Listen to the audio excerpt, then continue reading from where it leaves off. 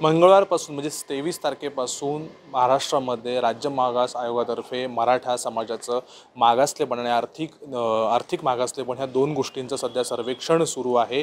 मराक्ष मराठा आरक्षणाचा मुद्दा हा राज्यामध्ये जोरदार चर्चेला जातो आहे अनेक ठिकाणी मोर्चे आंदोलन ठिकठिकाणी होतामध्ये आहे आणि राज्य सरकार देखील कुठेतरी ठोस पावले उचलताना दिसतंय आणि ह्या सर्वेक्षणाचं काम आता युद्धपातळीवर सुरू आहे. जवळपास अडीच कोटी कुटुंबियांचं जे काम आहे सर्वेक्षणाचं ते राज्य सरकार जे आहे आणि त्याचे कर्मचारी शासकीय कर्मचारी एक ते सव्वा लाख कर्मचारी काम करत आहेत. राज्य मागासवर्ग आयोग आता देखील काम करत आहे. सर हे काम कशा पद्धतीने आहे? आणि जी काही प्रश्नावली आहे एकशे चोपन्न जे प्रश्न आहेत साधारण हे प्रश्न भरून घेताना कुठल्या प्रकारच्या त्रुटी किंवा काय काय ह्या गोष्टी फेस कराव्या लागतात? त्रुटी बर बऱ्याचशा होत्या पण त्या आता जवळपास दूर झालेल्या आहेत. आणि ॲप वगैरे एकदम व्यवस्थित चाललेलं आहे. मला काल थोडीशी त्रुटी आली होती पण ते टेक्निशियननी त्यांना कॉन्टॅक्ट केला परत ते दूर केलेले आहे. साधारण एकशे चोपन्न प्रश्न त्याच्यामध्ये आहेत असं माहिती मिळते. हां एकशे चौपन्नपेक्षा जास्त आहेत. जवळपास खुल्या प्रवर्गातील कुटुंबासाठी साधारणपणे जवळपास एकशे चौऱ्याऐंशी प्रश्नावली काहीतरी आहे प्रश्न आहेत या ठिकाणी. आणि त्यामध्ये मूलभूत गोष्टी आहेत. त्याचबरोबर आर्थिक गोष्टींवरती त्यावरती विचार केलेला आहे.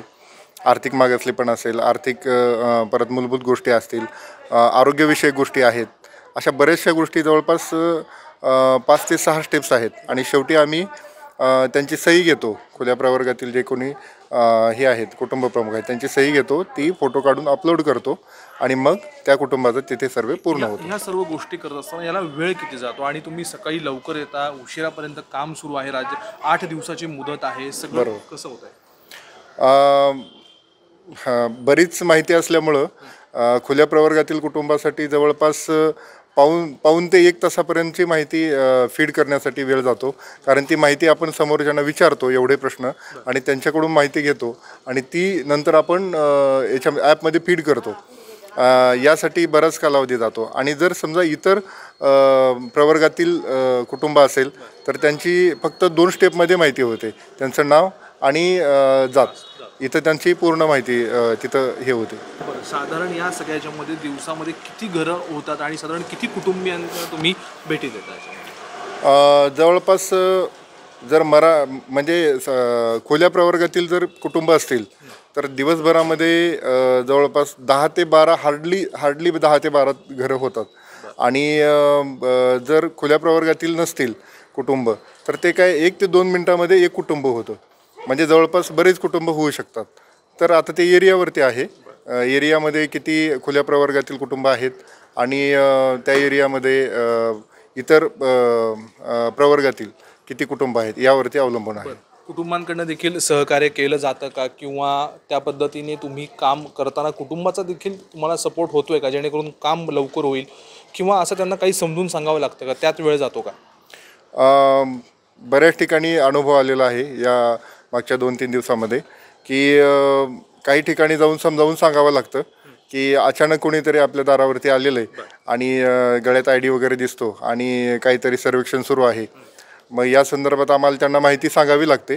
आणि माहिती सांगितल्यानंतर मग काही लोक थोडेसे ह- करतात. पण काही लोक एकदम म्हणजे चांगल्या प्रकारचा प्रतिसाद देत आहेत. बरं काही प्रश्न त्याच्यामध्ये असे आहेत की त्याचे डोक्यावरती पदर घेतात का? विधवा का? कुंकू लावतात का? असे देखील प्रश्न आहेत. पण हे वैयक्तिक प्रश्न आहेत. हे विचारल्यानंतर त्यांच्याकडनं काही अ, प्रतिउत्तर किंवा काही अशी वेगळी भूमिका रिॲक्शन होते का? काही ठिकाणी होते. कारण आमच्या याच्यामध्ये असं नाही आहे किंवा असे प्रश्न हे प्रश्न विचारून काय साध्य होणार? अशा बरेच गोष्टी त्यांच्याकडून येतात.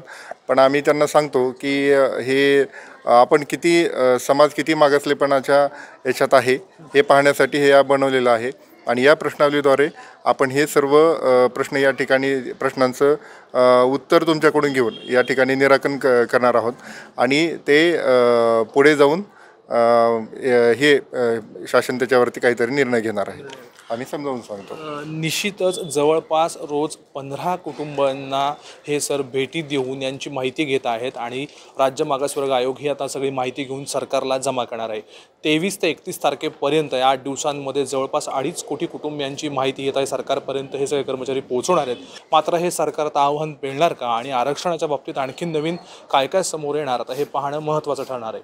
कॅमेरामन पियुषासह मी प्रीतम पुरोहित डिजिटल प्रभात पुणे.